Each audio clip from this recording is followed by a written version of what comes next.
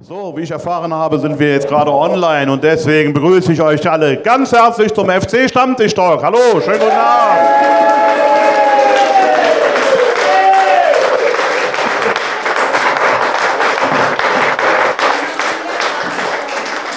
Auf euch ist Verlass, muss ich ganz klar sagen. Ja, wunderbar. Ich grüße euch ganz herzlich zu unserem FC-Talk mitten in der Länderspielpause, wie man so schön sagt. Ne? Also ist ein bisschen öde.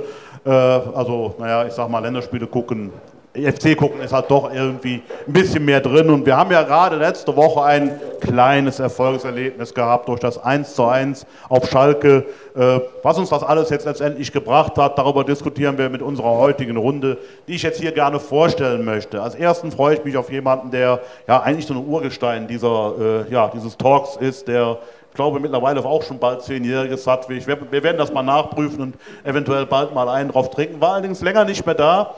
Als das letzte Mal da war, haben wir gerade Europa erreicht. Ist auch so ein gutes Omen, dass er heute hier ist. Wir freuen uns von der Deutschen Presseagentur, der Sportbüroleiter West, glaube ich, so nennt sich das. Holger Schmidt, herzlich willkommen.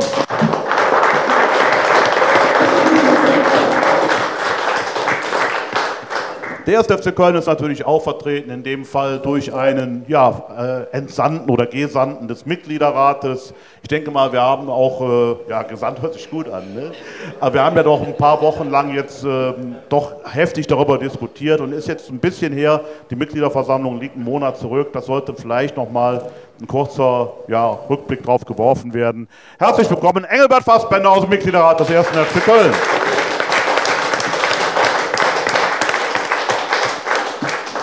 Ja, und last und ganz bestimmt nicht äh, not least, also ne, das ist, freue ich mich auf den Gast, der jetzt hier ne, heute so den Fanvertreter macht. Er ist in der Südkurve AG drin oder e.V., Entschuldigung, äh, ist aber auch natürlich bei der Wilden Horde. Man sieht ihn meistens mit einem Megafon, deswegen macht er heute das mit Mikrofon. Und ich freue mich, dass er da ist. Stefan Schell, Schell, grüß dich.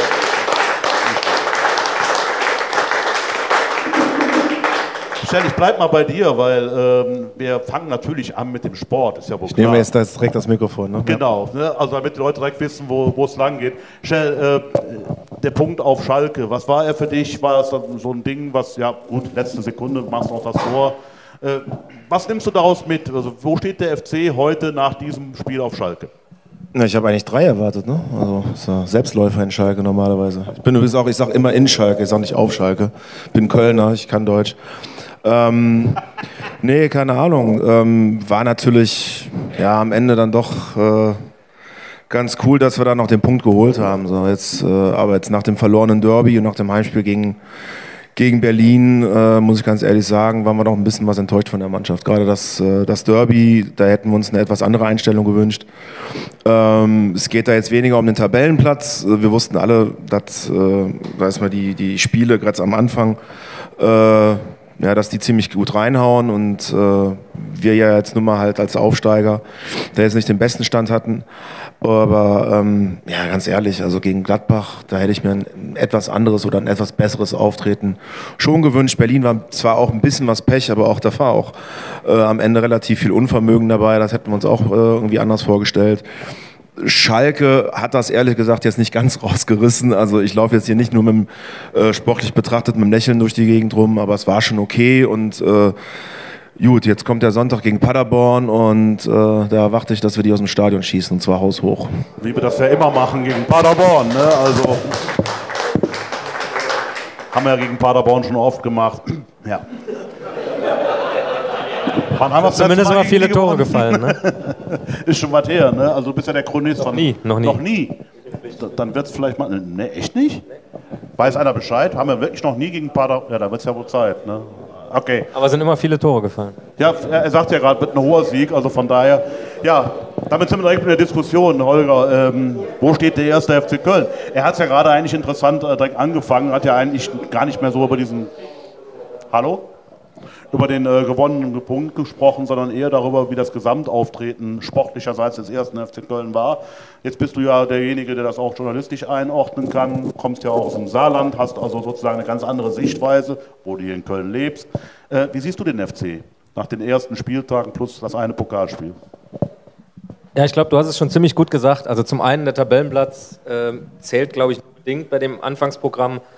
Äh, die großen Enttäuschungen waren wirklich die Spiele gegen Gladbach wegen der Einstellung und gegen Hertha, weil man da gesehen hat, äh, dass das ganze Konstrukt noch nicht so stabil ist und äh, bei ein, zwei kleinen Niederschlägen dann schon in sich zusammenfällt. Grundsätzlich muss man natürlich sagen, ähm, der Spielplan war, glaube ich, noch nie so ungerecht wie in diesem Jahr. Man sieht wirklich Vereine, die ganze Blöcke hatten, nur von guten Mannschaften am Anfang und nur von schlechten. Also ich habe jetzt gesehen neulich, Freiburg hat vor dem Spiel gegen Dortmund, die sechs Gegner waren 12., 13., 14., 16., 17., 18. Gegen den 17. haben sie verloren. Äh, ansonsten äh, haben sie relativ, relativ gut gepunktet.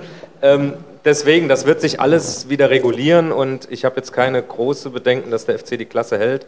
Vor allem, ich habe in der Saison auch schon Paderborn und Union live gesehen. Also ähm, die werden sie normalerweise, wenn da keine ganz blöde Dynamik reinkommt, auf jeden Fall hinter sich lassen. Hochschlagen. Weiß nicht, ob sie es am Sonntag schlagen, aber am 34. Spieltag werden sie, glaube ich, vor denen stehen. Ja. Das wollen wir doch alle hoffen. Ähm, du kannst vielleicht noch mal äh, was äh, begründen, warum äh, dich das so zuversichtlich macht, weil das ist ja ein bisschen anders, als wenn ich das höre, als Herr Schell. Also das, du hast da noch ein bisschen mehr. Weiß ich gar nicht, ob wir das so anders sehen. Ne? Also nee, ähm, also es ist einfach, die Mannschaft ist, ist deutlich besser als, als die anderen. Bayer Lorz hat ja heute, wenn ich es richtig gesehen habe, zu Paderborn gesagt, wir sind deutlich besser als die. Das ist mal eine ziemlich mutige Aussage. Äh, allerdings normalerweise auch eine, eine, Aussage, die zutrifft. Also ähm, ich glaube, dass die, die Neuen insgesamt relativ gut sind. Ähm, dass das jetzt ein, ein, relativ ordentlicher Kader ist, natürlich mit, mit der einen oder anderen Problematik, das ist auch völlig normal. Ähm, was man natürlich bedenken muss, ich habe natürlich mitbekommen, dass gerade die etablierten Spieler äh, ein bisschen in die Kritik geraten sind, ähm, Horn, Hector, Höger und so weiter und so fort. Ähm, man muss natürlich auch bedenken, äh, bei neuen Spielern sagt man immer, ja, die brauchen ein bisschen Eingewöhnungszeit es ist für die alten Spieler ja auch vieles neu. Es kommt ein neuer Trainer, es kommen neue Mitspieler. Der Timo Horn hat äh, mehr oder weniger eine neue Abwehr vor sich. Also das sind alles Dinge, die, die irgendwie äh, auch passen müssen und die auch die alten Spieler betreffen. Und äh, von den Ansätzen her, wenn man genau diese beiden Spiele mal rausnimmt, äh, glaube ich, dass das auf kurz oder lang funktionieren wird. Okay, das hört sich erstmal gut an, aber trotzdem wollen wir es noch ein bisschen vertiefen. Engelbert, du hast natürlich auch dein fachmännisches Auge über die. Ja, egal. Ja, qua Beruf, ne? Also Mitgliederrat halt, ne? Also jedenfalls Armin Fehr hat das, glaube ich, mal gesagt, ne? Ist ja äh, Vergangenheit, da haben wir ja einen Haken dran gemacht, reden wir gleich drüber. Jetzt aber nochmal zu deiner sportlichen Einschätzung. Wie siehst du es? Also, äh, ich muss. Bitte? Äh, jetzt? Jetzt? Jetzt? Ah. Keine Aussetzung. Gott sei Dank nur das Mikro. Ähm, also, ähm, jetzt kam aber was. Also gut, ähm, fangen wir mal an mit dem Dortmund-Spiel. Für mich war Dortmund eigentlich, äh, die ersten 70 Minuten waren ein Traum. Also ich habe die, die 70 Minuten gegen Dortmund erlebt und habe gedacht, da kann was Großes entstehen. Also das war wirklich so. Das war so hoch konzentriert. Die haben die Dortmunder nicht zur Entfaltung kommen lassen. Die haben 70 Minuten praktisch keine Chance gehabt. Und es war wirklich ein Auftritt, den ich so lange nicht gesehen habe. Ähm, ich habe hinterher gesagt, das war die best, waren die besten 70 Minuten, die waren alle besser als jedes Spiel in der Saison, äh, Saison 16, 17, wo wir dann anschließend Fünfter geworden sind. Dass es nachher nicht gereicht hat, war blöd, aber so. Dann kam das Freiburg-Spiel, wo sie sich eigentlich ja auch durchgekämpft haben. Sie hatten, äh, äh, eigene Tor ist nicht anerkannt worden, das Führungstor ist nicht anerkannt worden, Gegentor in Rückstand geraten durch ein, äh, durch ein Eigentor, die brüllende Hitze und trotzdem haben sie sich da durchgekämpft und man hatte den Eindruck, das könnte was werden. Ähm, so, dann kam die Länderspielpause und dann kam Mönchengladbach und gegen Mönchengladbach muss ich sagen, das war ja eine Riesenenttäuschung. Übrigens hat er am selben Wochenende Montag St. Pauli gegen Hamburg gespielt und St. Pauli hat 2-0 gewonnen. Ich weiß nicht, wer das gesehen hat, ich habe es im Fernsehen gesehen, aber das war eine Leidenschaft, die war unglaublich. Die haben die ja nicht 2 0 spielerisch besiegt, sondern die haben die wirklich niedergerungen. Es gab nicht wenige, die gesagt haben, die Einstellung hätten wir uns eigentlich gegen Gladbach gewünscht. Äh, da war sie nicht da. So, dann kam Bayern, das war erwartet worden, dann kam äh, äh, Hertha, katastrophal. Und jetzt Schalke wieder, da sehe ich sogar ein bisschen positiver als der Shell. Für mich waren auch wieder 70 Minuten in Schalke gut. Die 20 Minuten, die hatten sie da auch wieder. Da hat Schalke uns den Gefallen getan, hat den Sack nicht zugemacht. Und am Ende waren es dann ein glückliches 1-1. Nur jetzt haben wir wieder Länderspielpause und es kommt Paderborn. Und jetzt sage ich mal, so mit meiner laienhaften Sicht, man geht ja in ein Spiel gegen Schalke oder gegen Dortmund mit einer anderen Spannung. Da, ist, ne, da erwartet ja eigentlich kaum einer was. Man ist ja, ne, wir kämpfen und wir wollen sehen, dass man da mindestens einen Punkt holt. Da geht man mit einer anderen Spannung rein. Jetzt kommt Paderborn nach der Länderspielpause und alles sagt, wie hast du gesagt, sie schießen mal jetzt hier zweistellig aus dem Stadion. Ich bin mal gespannt. Ich würde es mir wünschen. Ähm, aber ich äh, bin im, im, Grundsatz skeptisch. Ich lasse mich also positiv überraschen. Ähm, und wenn sie die Spannung halten, die sie zum Beispiel in Schalke hatten, werden sie das auch schaffen. Aber es wird nicht einfach. Und eins muss man sehen, Paderborn äh, hat nichts zu verlieren. Die sind wirklich der Underdog. Kein Mensch sagt in Paderborn, äh, Paderborn, die gehören aber in die Bundesliga, so wie hier in Köln. Also die haben nichts zu verlieren, spielen jedes Spiel Vollgas. Und äh, ich würde mir wünschen, dass sie das packen. Ähm, ich würde mir vor allen Dingen wünschen, dass sie stabil werden, dass sie das, was sie in, in Schalke gezeigt haben, was sie in Freiburg gezeigt haben, was sie gegen, ähm, gegen Dortmund gezeigt haben, dass sie das wirklich konservieren und grundsätzlich auf den Platz bringen, dann würde ich zustimmen, dann sieht es gut aus am Ende der Saison. Also nachdem ich eben sehr positiv war, würde ich äh, jetzt ausgerechnet das sehr Positive mal aufnehmen und äh, man kann es auch so sehen, eigentlich haben sie ja gegen Dortmund eine, eine unfassbar große Chance vertan. Ja. Also Dortmund war an dem Tag schlagbar, äh, zumindest so wie der FC auch gespielt hat. Man sieht jetzt am Rest der Saison, dass sie überhaupt dieses Jahr schlagbar sind. Und wenn du dann so ein Hammerprogramm hast am, am Anfang und dann gewinnst du am zweiten Spiel gegen Dortmund, dann kannst du natürlich in einen unfassbaren Lauf reinkommen. Was viel anderes war das äh, in der Europacup-Saison ja auch nicht. Und ähm, jetzt äh, beginnt schon wieder das Kopfkino in die andere Richtung. Ne? Also äh, Modest hat gesagt, nicht schon wieder derselbe Mist wie vor zwei Jahren und äh, da haben sie es sogar schon ausgesprochen bekommen Hertha, die eine total verunsicherte Mannschaft eigentlich war, die auch mit dem Rücken an der Wand standen und haben jetzt selber in jedem Spiel Druck. Aber ähm, Paderborn, das sehe ich zum Beispiel nicht so, dass sie nichts zu verlieren haben. Ähm, man merkt bei denen schon, dass die auch ganz schön zappelig werden. Also die sind rausgegangen, haben gesagt, wir stürmen auf Teufel komm raus. Und dann verlieren sie immer 3-2, 4-3, was weiß ich. Und so langsam bröckelt bei denen auch der Glaube.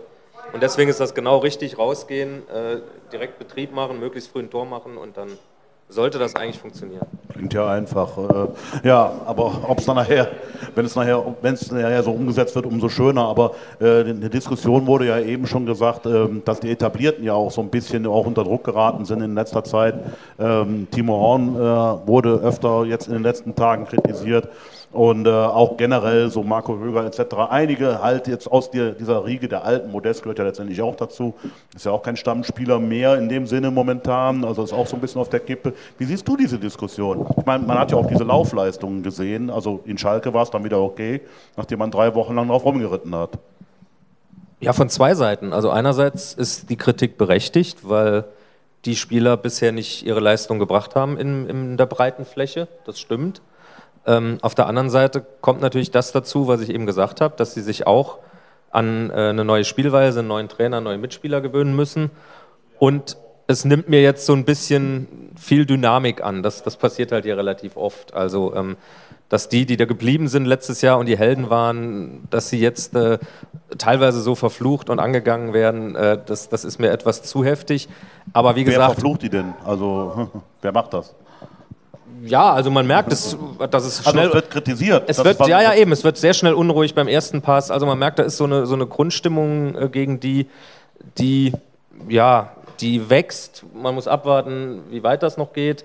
Ähm, aber äh, da merkt man schon, dass sie sehr kritisch beäugt werden und äh, dass, dass ihnen Fehler im Moment ein bisschen weniger verziehen werden. Ähm, das Gefühl hat man definitiv. Aber wie gesagt, grundsätzlich von der Leistung stimmt's. Also ich fand jetzt Jonas Hector zum Beispiel bis auf das Schalke-Spiel war überhaupt nicht wiederzuerkennen. Ähm, Timo Horn hat jetzt nicht die ganz, außer vielleicht Wehen, nicht die ganz großen Klopse drin gehabt, ähm, hat aber auch jetzt nicht so viel Außergewöhnliches geleistet, wie man es von ihm vielleicht kennt. Marco Höger hat sowieso nicht so viel gespielt, er hat jetzt auch auf Schalke nicht gespielt, obwohl Verstrate gefehlt hat. Ähm, also inhaltlich stimmt das schon, man muss nur aufpassen, wo es hingeht. Und, aber für die gilt ganz normal das Leistungsprinzip. Und, und wenn äh, Timo Horn und Jonas Hector und äh, Modest die Leistung nicht bringen, dann müssen sie auf der Bank sitzen, klar. Ich habe allerdings nicht mitbekommen, äh, Shell, dass da jetzt äh, die Fans gegen die Spieler agieren. Also das natürlich im Nachgang, jetzt auch bei Aber uns. nicht angegangen, meinte ich nicht. Nee, nee, also um Gottes Willen, die sind nicht auf den Platz gelaufen und haben auf die reingeschlagen. Aber nein, darum geht es ja nicht. Also dass da auch Pfiffe gekommen wären oder dass man da, also ich habe da jedenfalls nicht viel mitbekommen. Wie siehst Ja, du das doch. denn gerade? Doch. In Müngersdorf wird grundsätzlich gepfiffen gegen alles und jeden. Also wie oft wurden wir ausgepfiffen? Also von daher, äh, ob das jetzt mal eine Fackelei ist, ein beleidigender Gesang oder ein Spielpass, also die Leute pfeifen, wenn denen was nicht passt oder gehen früher nach Hause. Das ist mittlerweile ist es halt so. Die Leute äh, gehen da schon, was heißt die Leute, das ist auch wieder so ein abstrakter Begriff, aber es ist schon, äh, es kann mal sehr, sehr schnell in Müngersdorf unruhig werden, egal für wen. Also da können wir ein Lied von singen. Also da würde ich das schon, das würde ich schon beipflichten, dass das wirklich so ist, ähm, dass das, äh, wenn die äh, Leute gehen da mit einer gewissen Erwartungshaltung hin, ich auch, Ne? Ich zeige sie nur etwas anders. Wenn ich zum Beispiel sage, ich habe jetzt zum Beispiel auch nicht die Prognose abgegeben, dann muss ich direkt mal sagen, dass wir gegen Paderborn gewinnen. Das muss ich direkt mal äh, relativieren. Ich habe gesagt, ich habe die Erwartungshaltung, dass wir gewinnen und dass wir äh, auch haushoch gewinnen. Und ich habe die Erwartungshaltung auch bei einem Derby, dass wir gewinnen und dass wir zu, vor allen Dingen oder dass die Mannschaft da mit Kampf reingeht, mit Leidenschaft reingehen. Also äh, die tragen halt unsere Trikots, nicht wir der ihre. Also das ist eine, eine, eine ganz wichtige Geschichte. Die tragen den Geistbock auf der Brust, das ist ein Privileg äh, in, in meinen Augen und kriegen darüber hinaus on top und noch, noch sehr, sehr viel Geld. Und äh, dann erwarte ich halt einfach als zahlender Zuschauer, egal wo ich dann äh, mich befinde, ähm, dass die Mannschaft sich einfach für mich aufreißt, zusammenreißt. Also wirklich da einfach, dass da wirklich was zu spüren ist. Wenn wir am Ende verlieren, dann ist das auch so, dann ist es auch gar kein Problem. Äh, dann kann man auch verlieren, dann kann man sogar auch irgendwann mal absteigen. Das ist sogar auch möglich. Aber äh, ich bin der Ansicht, wenn man das diese Saison wirklich, also das sehe ich dann auch so, äh, sind wir eigentlich beim Du? Ja, ne?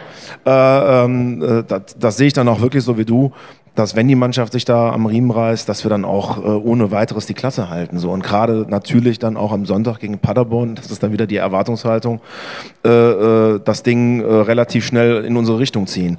Wenn das dann nicht äh, passiert, ähm, wir versuchen es schon, wenn man irgendwo sieht, dass die Mannschaft irgendwo noch am Start ist, die 90 Minuten durchzusingen. Selbst dafür wurden wir schon kritisiert, wenn die Mannschaft mal wieder scheiße spielt, jetzt gerade gegen Berlin, das war ähnlich gewesen.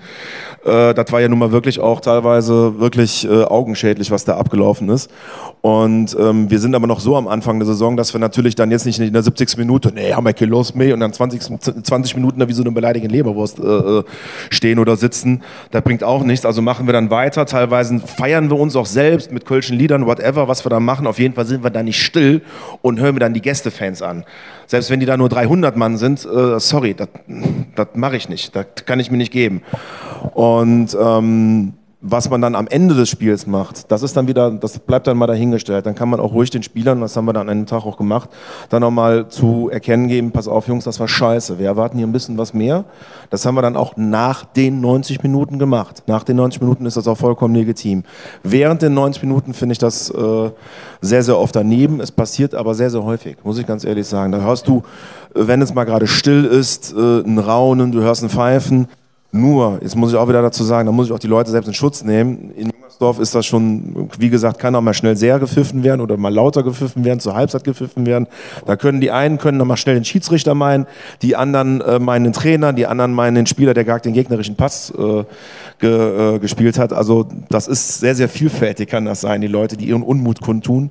Und äh, da muss man auch differenzieren. Und ein Spieler, sollte dann auch zumindest darüber stehen können. Es ist nicht immer der Fall und ich finde es selber auch nicht cool, wenn gepfiffen wird, aber man muss da schon ein bisschen was Verständnis entwickeln auch.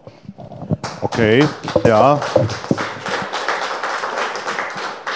Engelbert, äh, ich bleibe aber trotzdem mal bei der Thematik, weil äh, es letztendlich ja um diese äh, Arrivierten geht, die halt da in letzter Zeit ein bisschen in die Kritik geraten sind. Wie siehst du das? Ja, sagen wir mal so. Also es ist äh, ja schon, äh, oder die, die sogenannten Arrivierten sind ja im Zusammenhang mit dem Abstieg und dem Bleiben nach dem Abstieg ja sehr stark nach vorne gestellt worden. Ich nenne sie mal dieses Durch und Für-Fraktion. Ähm, die äh, stehen dann natürlich auch unter einer besonderen unter einer besonderen Erwartungshaltung. So, und wenn man sich das anguckt, es war ja auch in der, in der letzten Saison, also in der Zweitligasaison so, dass da nicht alles äh, Gold war, Äh, es gab einige äh, Situationen, ob mit, ob mit Timo Horn oder Höger oder auch Hector, äh, wo man gesagt hat, naja, also für jemanden, der arrivierter Erstligaspieler war, war das nun nicht so doll.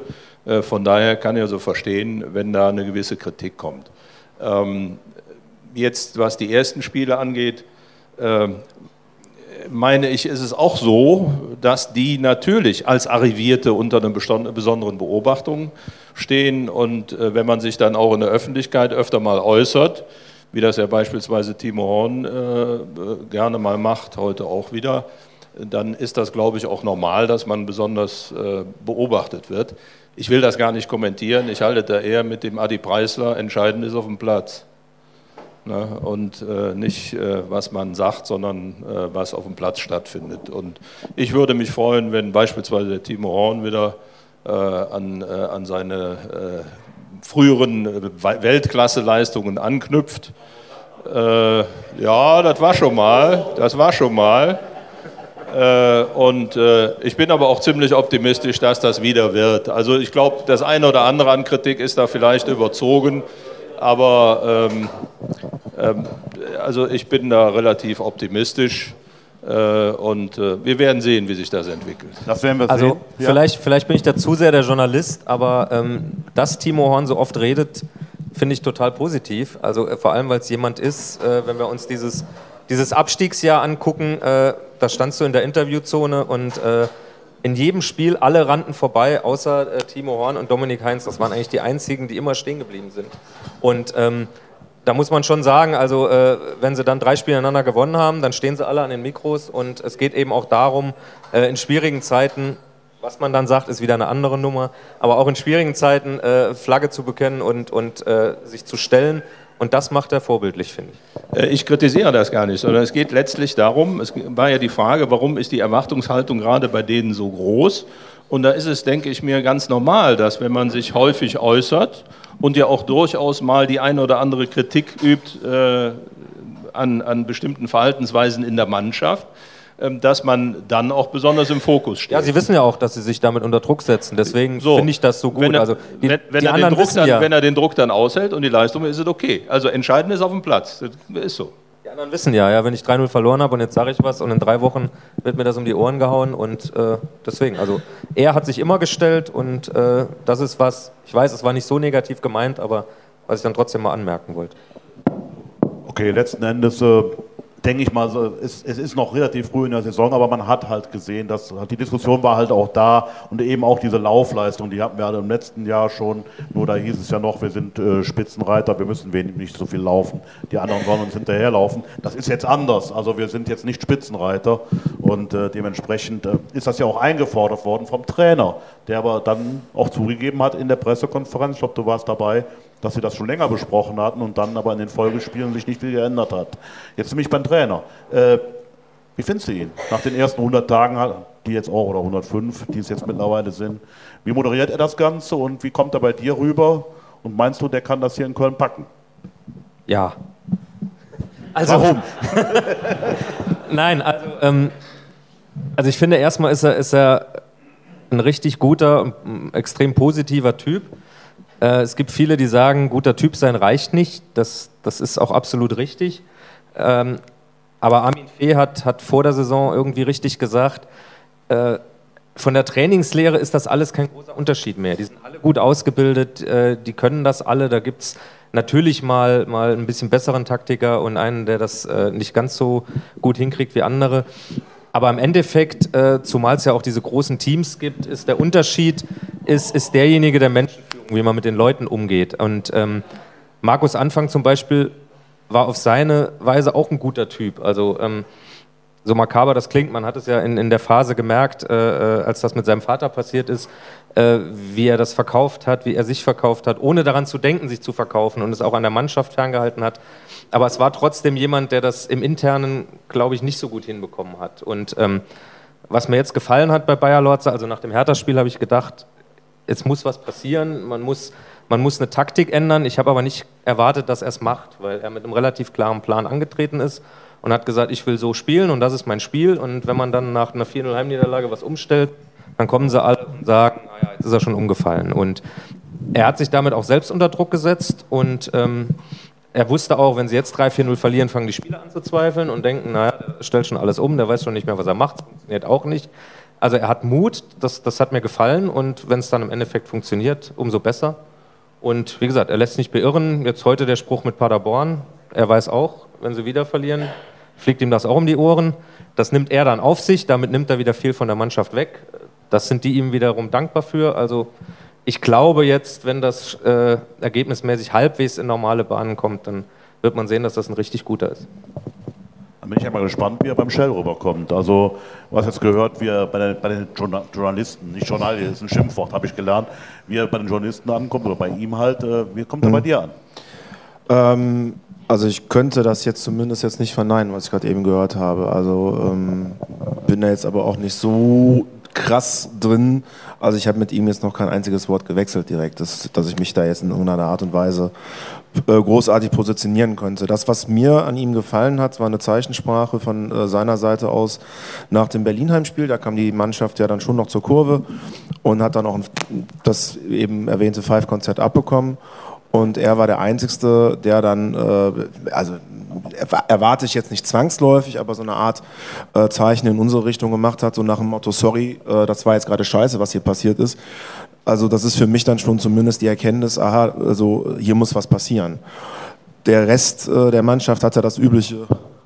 Ne? Also äh, finde ich jetzt auch nicht schlimm, aber ähm, man sieht, also er hat sich Gedanken gemacht. Und das fand ich dann schon mal positiv. Also das ist zumindest mal was, was ich äh, positiv bei ihm bemerken kann. Aber ansonsten könnte ich mich jetzt nicht irgendwie in irgendeine Richtung positionieren. Ich glaube, dafür ist das noch zu früh. Äh, wenn er sich hier ein bisschen was länger hält als Trainer in Köln, dann okay. Haben wir mal einen langfristigen Trainer. Ist auch mal was Schönes. Hatten wir ja schon mal. Das ist eine schöne Geste, die, die, die er da gerade anspricht. Also das, das, das finde ich so, das sind glaube ich auch die Kleinigkeiten. Man kann jetzt natürlich sagen, naja, der will sich irgendwie mit den Fans gut halten oder so. Aber wenn du gerade als Trainer so einen Nackenschlag kriegst, also es war ja wirklich nach, den, nach dem schweren Anfangsprogramm das Spiel, wo man schon sagt, jetzt müssen wir gewinnen. Und dann kriegst du 4-0 und dann in der Sekunde daran zu denken. Und das zeigt eben oder, oder lässt einen auch erahnen, wie er mit den Spielern umgeht, dass er da auch eine Antenne für hat, dass er eben merkt, äh, äh, wann er jedem vielleicht äh, mal einem hinten reintreten muss und wann er mal einen ein bisschen Bauchpinseln muss. Und das sind, glaube ich, Dinge, die er, glaube ich, sehr gut macht. Das muss halt immer ein bisschen diskutiert. Kurz da was dazu Ja, sagen, also bitte. so kam das auch gar nicht, äh, das muss ich auch dazu dann direkt unterstreichen, so kam das auch gar nicht rüber, dass er sich irgendwie jetzt bei uns einschleimen wollte oder so, das kam also wirklich so auch schon rüber, das haben haben wir ihm auch, glaube ich, äh, dann noch abgekauft. Ähm, also allgemein, um jetzt mal diesen ähm, Vergleich zu Markus Anfang zu ziehen, also er, ist, er kommt allgemein schon ein bisschen was menschlicher rüber. So, das ist dann schon mal, kann man vielleicht auch nochmal positiv mit anmerken dazu. Was mir so aufgefallen ist, ich weiß nicht, ob Engelbert das auch mitbekommen hat, vermute ich mal, äh, er, er spricht auch manche Sachen sehr deutlich an. Also Coziello hat er mal angesprochen, da in der Hinsicht Schaub, äh, dass er mehr tun muss nach Defensiv und etc. Auch öffentlich. Das sind so Dinge, die man bis dato eigentlich nicht kannte, dass einer auch äh, Spieler öffentlich schon mal, mal sagen wir es ruhig, ins Achtung stellt. Äh, mir war nur aufgefallen, dass es meistens Leute aus der zweiten Reihe war. Nur es gibt ja Gründe, warum sie in der zweiten Reihe sind, aber trotzdem, das kann man so auch machen, wenn es in einer gewissen Art und Weise besprochen wird oder ist auch ein bisschen fragwürdig. Ja, ich glaube, das, was auch gerade deutlich geworden ist, und das bekommt man ja auch draußen mit, ist, dass er wirklich eine absolute Stärke in seinen kommunikativen Fähigkeiten hat. Und äh, wenn er dann so etwas macht, wie das, was du gerade äh, beschrieben hast, dann bin ich fest davon überzeugt, dass er vorher auch mit dem Spieler darüber gesprochen hat. Und er macht es dann auch in einer Art und Weise, die ja nicht verletzend ist, sondern erläuternd und erklärend. Insofern ist das absolut okay. Also ich glaube, von daher ist er sicherlich äh, ein Trainer, der eben durch seine Kommunikation, durch seine Art, wie er nach draußen kommuniziert, wie er mit den Leuten redet, wie er erläutert, was er macht. Er beschreibt ja auch sehr viel, äh, dass das jemand ist, mit dem man wirklich sehr gut zusammenarbeiten kann, der auch die Mannschaft erreicht. Äh, Hoffen wir mal, dass das so bleibt. Ich gehe mal davon aus. Ähm, Und äh, also wenn, wenn ich, ich mache jetzt mal, verziehe mal den Vergleich zu Markus Anfang, wo er auch nur von draußen, das, wir können es nur von draußen beurteilen, glaube ich, hat er schon einen deutlich besseren Zugang A zur Mannschaft und B hat auch deutlich bessere, ich nenne es mal so, kommunikative Fähigkeiten nach außen, also Richtung Öffentlichkeit. Genau, also ähm, es ist so, diese, diese Kritik, also auch nochmal jetzt aus der Sicht des Journalisten, ähm, wir stellen natürlich manchmal Fragen und, äh, hoffen dann, einen Trainer so ein bisschen aus der Reserve zu locken. Äh, das ist was, was bei ihm nicht funktioniert. Also er macht alles äh, sehr, sehr beherrscht und, und sehr, sehr klar. Und wenn er einen Spieler öffentlich kritisiert, dann kann man erstens genau davon ausgehen, dass er ihm das vorher schon gesagt hat und dass das auch bewusst passiert in dem Glauben, dass das nötig ist, um ihn irgendwie zu packen.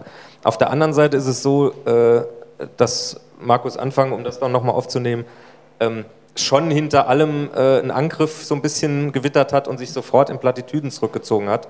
Und dann kam dann relativ viel 0815-Gespräch. Die Gefahr besteht dann auch, dass das bei der Mannschaft ähnlich war. Und er schafft es schon relativ gut, sich dann aus dieser Situation irgendwie so rauszuwinden, indem er dann doch im Endeffekt zumindest irgendwas sagt. Und äh, das ist, glaube ich, dann doch auch das, wie er mit der Mannschaft umgeht. Okay, wir warten einfach weiter ab und ich denke mal, nach dem Spiel gegen Paderborn wissen wir ja schon ein bisschen mehr wieder mal. Äh, und auch in den nächsten Spielen, die ja sehr wichtig werden, sportlich, werden wir definitiv am 18.11. natürlich nochmal beim nächsten FC-Stammtisch-Talk dann im Detail besprechen. Äh, wir wollen jetzt aber auch mal einen kleinen Break machen und äh, Engelbert, du bist ja dann auch deswegen jetzt hier, aber auch der Stefan Schell, du natürlich auch als mehr oder weniger Außenstehender, das Vereinsinterne. die Mitgliederversammlung ist jetzt ein paar Wochen her, fünf Wochen jetzt circa. Äh, wir haben einen neuen Vorstand. Es ist relativ lange ruhig geblieben bis letzte Woche. Und dann hat man die ersten Änderungen gemerkt. Ähm, also, dass das sich jetzt was verändert hat, das war diese Gremiengeschichte, dass da was passiert ist. Das ist so, was ich als erstes fragen würde. Am besten gehe ich mal zum Shell. Was spürst du denn bisher noch an zusätzlichen Veränderungen? Äh, hast, hast du schon das Gefühl, es herrscht ein neuer Wind äh, beim, im Geisbockheim oder ist das noch alles ein bisschen im Werden? Jetzt muss ich aber aufpassen, was ich sage. Ne? Ach, wir sind auch hier unter uns. Ähm, genau. Ähm, ja, ich denke mal, das mit dem frischen Wind, also ich glaube, da haben wir auch einen etwas anderen Anspruch vielleicht. Ähm, also für uns ist das jetzt noch nicht so, dass wir sagen können, es ist jetzt alles hier rosa-rot. Also wir haben den ersten Schritt, ist jetzt, äh, den sind wir jetzt gegangen quasi in der Mitgliederversammlung, einen neuen Vorstand Gesundheit, einen neuen Vorstand äh, äh, zu wählen und äh, die Ausrichtung des Vereins äh, gerade auch bei der Investoren- und bei der Stadionfrage unseres Erachtens in die richtige Richtung zu drehen. Und ähm, ja, das, das ist schon mal gut, ne? das ist schon mal der Anfang. Aber wir haben natürlich äh, jetzt noch extrem, wir speziell äh, als, na, sag jetzt mal, Südkoreas, FC Köln als Fanszene, nicht nur als Ultras, haben natürlich äh, noch ganz viele andere Themen.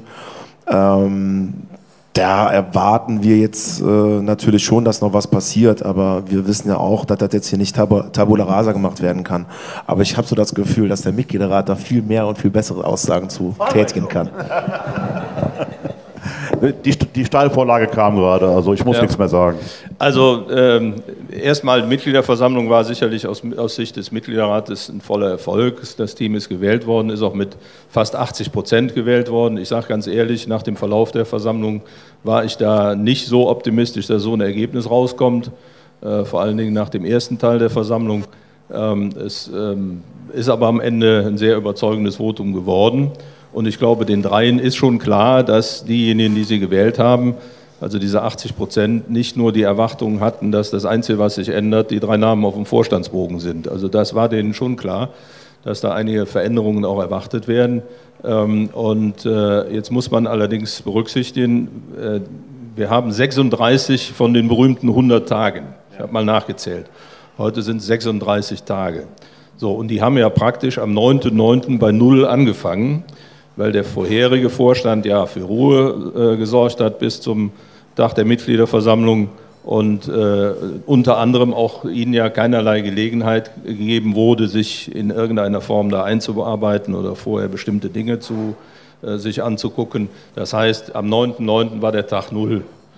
So, und nun weiß ich und wissen wir, dass die sehr intensiv dran sind. Die hatten beispielsweise heute wohl wieder eine Klausur, sehr intensiv dran sind, äh, sich äh, die Dinge alle erstmal vernünftig anzugucken. Sie haben jetzt die ersten Veränderungen vorgenommen. Äh, die standen auch an, weil mit, dem, mit der Amtszeit des Vorstandes ja auch die Amtszeit des Beirates geendet ist. Ähm, dann haben sie das strukturell verändert, indem sie selber in den Aufsichtsrat der KGA gegangen sind. Da gab es dann schon die ersten Vermutungen, oh, jetzt kontrolliert der Vorstand sich selber und ist ja Diktatur. Das ist völliger Quatsch, weil der Vorstand vertritt ja den Verein und der Verein ist Alleingesellschafter in der KGA.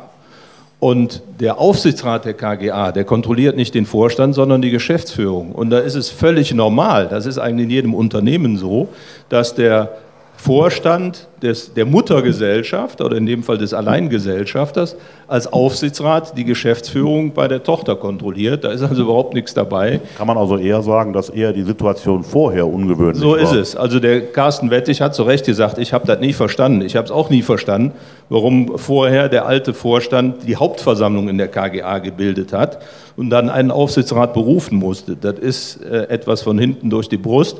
Also jetzt ist es eigentlich die Regelung, wie es normal ist. Der Vorstand ist im Aufsichtsrat und als solcher äh, wird auch deutlich äh, und transparent nach außen, dass er die Geschäftsführung kontrolliert. So muss es sein. Also ist völlig normal.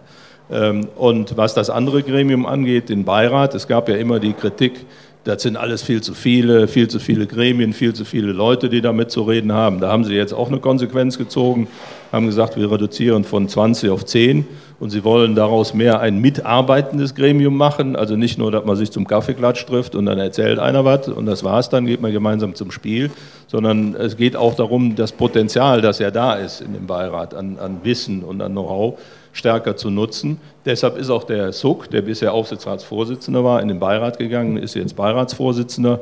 Und äh, ich denke, das sind schon mal ganz gute Signale. Ich bin fest davon überzeugt, weitere werden folgen. Im Übrigen gibt es, äh, das hat der Shell ja gesagt, es gibt ein paar Dinge, die haben sie bei der Mitgliederversammlung und auch bei den vielen Fanclub-Besuchen vorher ja schon klargestellt. Also dieses Investorenthema ist klar, klargestellt.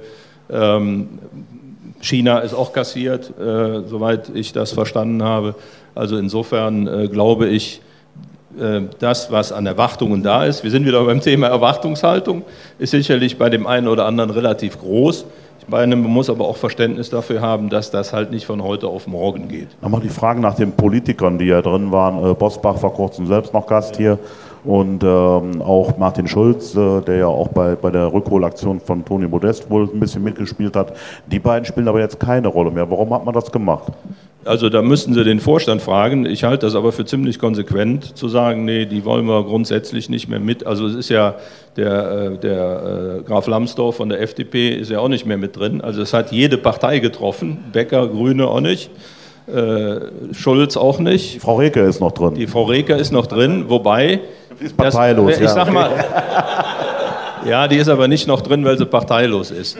Und jetzt muss ich mal zu dem Thema Frau Reger was sagen. Das hat ja auch im, im, im, äh, im, im, äh, in den sozialen Medien für heftige Reaktionen gesorgt. Kann ich auch gut nachvollziehen. Also ich kenne jemanden, der hat gesagt, nachdem die Reker umgeschwenkt ist, innerhalb von einem Tag, der hat gesagt, sofortiges Stadionverbot. Hab ich gesagt, den, ja, Den ja, kenne ich, ja. glaube ich. Ne? Stehe ich auch zu. Und als er das geschrieben hat, habe ich gesagt, jawohl, der hat recht. Also eigentlich, so aus dem Bauch heraus, kann ich diese Wut auf diese, diesen Schwenk von der Verrücke absolut nachvollziehen. Also ich habe das, äh, ich hab das selten erlebt, dass äh, man so umkippen kann, sage ich jetzt mal. Ne? Also meine Frau Merkel hat auch gesagt, mit mir wird es keine Pkw-Maut geben und dann haben sie sie dann doch versucht einzuführen. Sie kommt jetzt doch nicht, das liegt aber eher an den Fähigkeiten von Herrn Scheuer. Ich könnte jetzt einen Adenauer kontern, die Schwätz von die, gestern die, die Wut, die da drin steckt, kann ich absolut verstehen. Habe ich ganz genauso. Ich hätte aus der Haut fahren können nach dem Ding, aber man darf ja eins nicht vergessen. Äh, sie ist die Verwaltungschefin, die Oberbürgermeisterin und gleichzeitig die Verwaltungschefin der Stadt Köln. Und äh, mal abgesehen davon, dass der, der Oberbürgermeister qua Amt eigentlich da reingehört, ähm, wir müssen unbedingt, das ist allererste Priorität, äh, den Ausbau des Geisbockheims beziehungsweise den Ausbau eines, Nachwuch oder eines Leistungszentrums vorankriegen. Und wann immer wir das mit der Stadt machen, ob am Standort Geisbockheim, was natürlich unser großer Wunsch ist, oder woanders, wann immer wir das mit der Stadt machen, müssen wir äh, mit der Stadt, das heißt mit dem Stadtoberhaupt und mit der Verwaltung, zu einem Konsens kommen. Sonst funktioniert das nicht. Ist egal, was da für eine Vorlage eingebracht wird. Wenn es jetzt um die Entscheidungsvorlage äh, für, äh, für den Erweiterung Geisbockheim geht, da steht oben drüber der Oberbürgermeister. So, das heißt, man kommt nicht an der Verwaltung vorbei. So, dem müssen wir uns stellen. Deshalb Bauch, absolut verständlich. Bauch hat bei mir, bei vielen genauso reagiert, aber den Kopf darf man nicht äh, ausschalten. Deshalb habe ich Verständnis dafür, dass man gesagt hat, äh, nee, die Frau Reker muss da drin bleiben. Ja, absolut. Wir haben ja eben über, über Kommunikation gesprochen. Äh, darüber geht es dann auch. Und ich kann mich erinnern, dass das bei den Ultras äh, sehr, sehr oft ein Thema war, ob man denn noch miteinander redet und wieder und so weiter und so fort.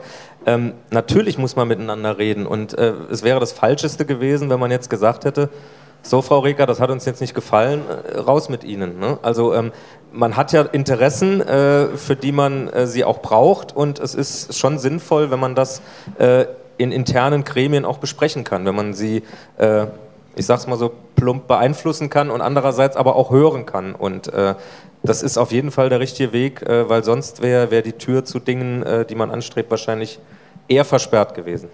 Okay, ich habe das sowieso auch schon verstanden. Ich möchte dazu in meinem Post natürlich noch sagen, den ich damals auch in einer, wie sagt man so, direkt nach dem Spiel sozusagen im Affekt gemacht habe, dass ich das natürlich auch Gespräche bevorzugen würde. Äh, ich würde aber relativ deutlich meine Meinung hier sagen, wie ich das wie, das Verhalten, wie ich das Verhalten fand, also vielleicht mit anderen Worten. Äh, Shell, ich glaube, äh, über die Politiker würdest du dazu noch was sagen oder sollen wir mal über andere Themen reden? Also Choreo, du hast es ja eben schon angesprochen, die würden wir mhm. eigentlich gerne wieder sehen. Äh, ja. Nochmal ganz konkret, seid ihr schon in Gesprächen oder ist das einfach noch zu früh, weil, ja, sprich, gerade erst im Abend. Äh, also Choreos können alle sehen, zwar auswärts. Wir machen seit Jahren Auswärts-Choreos. Habe ich gesehen, ja. Ja, also sieht doch geil aus. Ja, ja, ne, aber melden im eigenen Stadion sind die auch schön. Melden es auch nicht an, wir bringen das halt immer rein, gucken, was passiert. Manchmal klappt es, manchmal klappt es nicht. Ist eigentlich toll. Also wir reden seit da würde ich das, also ein Verein hat da wahrscheinlich eine andere Perspektive, der muss das ein bisschen was anders betrachten, da kann ich das nachvollziehen. Äh, wir reden seit zweieinhalb Jahren nicht mehr mit den äh, Vereinsfunktionären und ich muss dir ganz ehrlich sagen, uns geht es besser dadurch. Auf jeden Fall. Also äh, das ist wirklich, äh, wir haben dadurch ein leichteres Leben. Wir melden seitdem nichts mehr an. Wir machen, nehmen einfach alles mit und gucken, was passiert und meistens klappt's. Jetzt hast du meine Frage trotzdem nicht Ja, ich weiß, so Choreo-Klausel, genau. ähm, also es gab schon Gespräche, natürlich. Es gab halt auch schon, äh, die, die drei Jungs haben sich ja auch schon äh, vor, der, vor der Mitgliederversammlung bei allen Gruppen, so auch bei uns vorgestellt. Und äh, danach gab es auch schon mal noch informelle Gespräche, durchaus. Aber man tastet sich eigentlich noch so ein bisschen was ran. Also ich würde jetzt, würd jetzt schon noch nicht sagen wollen, äh, ja, Choreos gibt es jetzt in drei Wochen oder so. Das ist, glaube ich, zu früh. Und ähm, meinetwegen kann man auch die Choreo-Klausel streichen. Das ist ein leichtes, das sind zwei Sätze und dann war es das. Äh, der erste FC Köln ist sowieso der einzigste Verein in, in äh, Fußball Deutschland, der diese Choreo-Klausel einsetzt, diesen Schwachsinn. Aber ähm, das ist für mich auch nur ein Schritt von vielen. Was für mich wichtig ist und was für mich extremst wichtig ist, dass man äh, uns Ultras bzw. die Fanszene äh, nicht als Feind oder nicht als Sicherheitsrisiko empfindet, sondern halt eben als Partner. Als Partner, der vielleicht manchmal äh, auch Scheiße, ba Scheiße baut oder auch manchmal Fehler macht äh, wie es halt eben viele Menschen oder alle Menschen eigentlich machen. Kein Mensch ist fehlerfrei. Aber ähm, ja, dass man uns halt einfach so nimmt, wie wir sind. Und solange das nicht funktioniert, äh, ich habe da eigentlich schon zumindest eine gute Ansicht gegenüber den drei neu gewählten. Ähm, mit dem Eckhard Sauren habe ich bisweilen noch nicht so viel gesprochen, äh, mit den anderen beiden schon nochmal.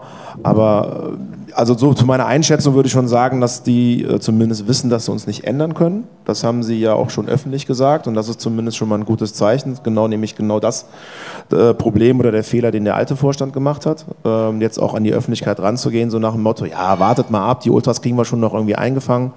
Das wird nicht passieren. Also die Ultras gibt es nicht im Sparpaket. Egal. Selbst wenn wir jetzt hier auch alle Gruppen äh, äh, auflösen würden, die Leute bleiben da und die sind so, wie sie sind. Und äh, dass es dann noch Leute gibt, wie meiner einer, nicht nur meiner einer, sondern auch viele andere, die diese Leute noch kanalisieren und entsprechend äh, äh, sogar vielleicht hier und da ein paar Dinge verhindern. Äh, das wird dann so noch gerne mal inklusive genommen. Also von daher, es gibt noch viele Steine meines Erachtens, die wir da ins Rollen bringen können, bevor wir sagen können, hier ist alles cool. Kurios könnte so wirklich das erste Thema sein, wo wir zusammenkommen. Aber äh, wie gesagt, also da gibt es noch viele andere, andere Punkte, die kann ich jetzt hier nicht alle aufzählen, auch beim Thema Kurios. Die müssen wir vorab klären, äh, bevor wir jetzt wieder hier Kurios präsentieren können. Aber wir sind zumindest auf einem guten Weg, das muss man auch dazu sagen. Ja, was ähm, äh, ich hoffe und ich glaube, das ist im Vorfeld der, der äh, Diskussion äh, mit den Fanclubs und auch mit euch ja schon deutlich geworden, dass man äh, versucht, ähm, und dass es auch hoffentlich gelingt, diese Diskussion ein bisschen zu entemo äh, schwieriges Wort, entemotionalisieren. Weil dieses, äh, dieses das sind die Ultras, das sind die Bösen. So, das, ist ja, das ist ja so ein Totschlagsargument. Und äh, wenn ich bedenke, dass alleine dieses Thema, dass mal drüber nachgedacht wird, Shell hat gesagt, der FC ist der einzige in der Bundesliga, der einzige Club, der so eine Choreo-Klausel hat, äh, dass mal darüber nachgedacht wird, wie können wir das Problem denn anders lösen? Weil eigentlich steckt in der Choreo-Klausel ja nur ein juristisches Problem. Und wenn ich mir dann überlege, wie damit auf der Mitgliederversammlung umgegangen worden ist, auch durch einen Vizepräsidenten wieder in seiner Rede, diese typischen Anti-Gewalt-Reden da, äh, das ist eigentlich schade, weil es, weil es nur dazu beiträgt, letztlich eine, äh, eine, eine Diskussion zu verunsachlichen, zu emotionalisieren und von dem Kern, von dem, ein, an, dem, nennt man das ja, auch, ja, ne? an dem eigentlichen Kern vorbeigeht. Es geht nämlich beim Stichwort Choreo-Klausel alleine um ein juristisches Problem. Und da gibt es ja beispielsweise einen, der sagt, ja, wenn wir jemanden haben, der für eine bestimmte Handlung haftbar gemacht werden kann, wofür brauchen wir dann eine, Choreo-Klausel? Da wollen wir denn extra eine Klausel. So, das ist das alte Thema. Aber ich kann mich natürlich hinstellen und sagen, also die Ultras, die Bösen und die müssen wir und bloß nicht die Choreo-Klausel streichen. Das ist ähm, sachlich Unsinn. Es dient nur zur Emotionalisierung. Und ich hoffe, dass es gelingt, dieses Thema tatsächlich zu entemotionalisieren und dass man eine vernünftige Gesprächsbasis kriegt. Ja, es ist ja so ein bisschen auch zum, glaube ich mal, von außen betrachtet so zum Fingerhakeln, zum, zum Machtspiel irgendwie geworden. Das Entscheidende ist, glaube ich, der Punkt Gewalt. Also ähm, wenn du jetzt eben sagst, wir lassen uns nicht ändern, ähm, dann ist das im einen Teil sicher euer gutes Recht. Ähm, ich denke, das hört dann eben genau an dem Punkt Gewalt auf. Und das, was äh, du hast ganz sicher nicht gemeint, äh, wir werden uns kloppen oder äh, mit Maleranzügen aufs Spielfeld laufen oder sonst irgendwas. Ähm, und das ist, glaube ich, das, was der Verein damals auch zu Recht bemängelt hat, dass man nach bestimmten Zwischenfällen so ein bisschen sich zu wenig davon distanziert hat. Lass mich noch fertig. Okay, gut. Ähm, aber ähm, auf, je, auf, auf, jeden, auf jeden Fall bin ich, bin ich absolut äh, der Meinung, dass, dass man da zusammenfinden muss und, und dass die Verteufelung der, der Fans und Ultras und das in alle in einen Sack stecken, das ist definitiv falsch. Ja. Das ist ja schon mal ein Anfang. Ähm, also ich musste bisweilen noch keine Unterschrift äh, abliefern für irgendwelche Gewaltgeschichten beziehungsweise für die Maleraktion oder Maleranzügeaktion in Gladbach. Also da hat mich Gladbach damals nicht angeschrieben, hey Shell, willst du da mal für unterschreiben? Es geht also in der Tat, auch da bitte ich zu differenzieren, um das Thema Kurios. Und da muss ich auch nochmal dir das Thema Haftung ansprechen. Ähm, es geht nicht darum, Verantwortung nicht zu übernehmen. Es, das war so, das ist so und das bleibt auch so, schon alleine, weil das aus unserem Anspruch heraus genau auch so bleiben soll. Wir werden immer zu 100 Prozent die Verantwortung für unsere Choreografien übernehmen. Das ist doch gar keine Frage. Und das war immer auch das, was dann gerade auch auf der Mitgliederversammlung oder bei den Diskussionen zu diesem Thema auch immer Inhalt war. Das war natürlich dann auch, es wurde zum Politikum gemacht, es war dann auch Wahlkampfthema irgendwo. Es wurde dann auch gesagt, bitte streicht nicht die Choreo-Klausel. Äh, Im Endeffekt, ja, wenn, wenn ihr keine Choreos sehen wollt, dann, dann lasst sie halt drin. Also ich habe keine Lust, hier wieder als Bittsteller äh, aufzutreten und zu sagen, ja bitte, kann ich bitte drei Monate lang in eine total unterkühlte Halle und 15.000 Euro in das Ding äh, stecken, damit ich danach für euch alle eine Choreo, also nee, sorry, also das, das, das sehe ich einfach nach über 20 Jahren, nehme ich diese Scheiße mache, auch nicht mehr ein. Also wenn man Choreos machen, äh, wenn man Choreos sehen möchte, gibt es hier ein paar Stellschrauben, die man äh, machen kann. Da gehört unter anderem die äh, äh, Klausel dazu. Das ist meines Erachtens äh, was Einfaches, aber es geht nicht darum, keine Verantwortung zu übernehmen. Die 20 Jahres Choreo, das darum geht's ja. Es ging also nicht um Maleranzüge oder um, um äh, Distanzierung von irgendetwas. Das ging ja schon um die 20 Jahres Choreo meiner Gruppe, wo dann auch äh, Darstellungen gezeigt worden äh, sind, die äh, dem einen oder anderen nicht geschmeckt haben, wo wir uns auch übrigens noch nie und das wird auch bis, bis zum heutigen Tag so bleiben, positioniert haben. Schon alleine, weil sie bitte auch im Auge des Betrachters so verstanden werden soll, wie sie dann verstanden werden soll. Das ist auch genau das Schöne, dass wir uns noch nie dazu geäußert haben. Dann bitte, egal wie auch immer, wo auch immer, bitte, ob uns in die falsche oder in die richtige Richtung, genau mit, mit dieser Choreo haben wir den genau den richtigen Knopf gedrückt, meines Erachtens, weil wir dann auch genau alle Leute auf der Palme hatten, die wir so hat, wo wir sie halt äh, haben wollten. Aber unabhängig davon, diese Choreo wurde von mir angemeldet. Das doch, ich kann, habe sogar, glaube ich, noch die E-Mail von damals. Da, da stehe ich auch zu. Ich stehe auch dazu, wie ich sie angemeldet habe. Ich muss da jetzt nicht ins Detail gehen, aber ich stehe dazu. Und äh, das wird auch in Zukunft so sein, dass die Choreos äh, äh, von mir angemeldet werden und natürlich dann auch Gespräche dazu geführt werden, wie diese Choreos auszusehen haben. Das ist gar keine Frage. Und es geht nicht darum, Verantwortung dafür nicht zu übernehmen. Das machen wir äh, und das wollen, das wollen wir auch, dass das so bleibt, weil das auch unser Anspruch ist. Gar keine Frage. Okay, ähm, Aber, äh, sorry, genau, stimmt, darum geht das. Das hätte ich jetzt fast vergessen. Jo. Es ist ja äh, dieser eine Satz, genau, das muss ich halt noch loswerden. Dieser eine Satz in der Choreo-Klausel ist ja noch eben das, was uns äh, auch daran gestört hat. Da steht ja dann noch dann drin, DFB-Strafe, wenn der DFB eine Strafe ausspricht, ähm, dass äh, derjenige, der sie anmeldet, äh, dann noch in Regress genommen werden kann. Das sind nun mal zwei Punkte, die wir halt von, von, vom Fundament her ganz klar kritisieren. Wo wir eine ganz klare Kritik einerseits an die Verbände, aber auch andererseits an die Vereinsfunktionäre äh, äh, äh, äh, aussprechen bzw. signalisieren und das schon seit Jahren. Sowas kann ich doch nicht unterschreiben. Da mache ich doch, äh, erweise ich doch den ganzen anderen Fußballfanszenen hier in diesem Land einen Bärendienst, wenn ich das unterschreibe. Und der erste FC Köln, ich kenne ja nun mal halt äh, den einen oder anderen Vereinsfunktionär, der da arbeitet, schon ein bisschen was länger, natürlich dann damit hausieren gehen und sagt, guck mal, unsere Ultras, die haben unterschrieben. Wie ist das mit euren Ultras? Habt ihr da auch irgendwie Ultras, die die Regress, Regress und die DFB-Strafe unterschreiben? Diese DFB-Strafe, egal wie man jetzt dazu stehen mag, und wenn ich der Einzige bin, der das so sieht, finde ich scheiße. Dann unterschreibe ich doch nicht so einen Quatsch. Das mache ich nicht. Sorry. Darf ich mal eine Frage stellen? Natürlich. Nur mal, nur, mal, nur mal als Beispiel. Brauchst du ja nur mit Ja oder Nein zu beantworten. Ja, Ähm, die Frage ist ja noch nicht gestellt. Nehmen wir dieses Beispiel des Böllerwerfers Ja. äh, bei dem Spiel gegen Gladbach. tolles Ähm, Beispiel. Ja, pass auf. Äh, Ich, ich hoffe es, dass es am Ja, Ende zu einem ja, tollen Beispiel wird. Da war ja auch wieder ah, die Ultras und so. Es hat sich ja dann herausgestellt, Gott sei Dank haben sie den ja auch gleich erwischt, Hm. dass das ein völlig bekloppter, noch dazu aus dem rechtsradikalen, aus einem rechtsradikalen Umfeld stammender Einzeltäter war. Ja. So, gesetzt den Fall, das wäre passiert während einer Choreo und sie hätten ihn nicht sofort oder überhaupt nicht ausfindig machen können, dann hättet ihr oder derjenige, der für die Choreo unterschrieben hat, obwohl er nichts damit zu tun hat, dafür haften müssen. Ist das richtig?